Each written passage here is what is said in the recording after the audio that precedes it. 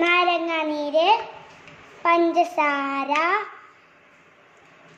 ഇഞ്ചി ചെറിയ കഷ്ണം ഇഞ്ചി ചെറിയ കഷ്ണം ബീട്രൂട്ട് പിന്നെ ഐസ് വാട്ടർ.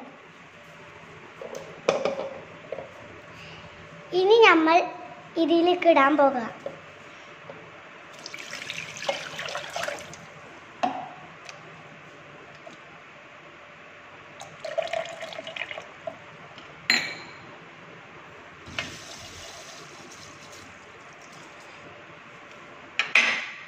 ഇനി നമ്മൾ മിക്സിയിൽ അടിച്ചെടുക്കുക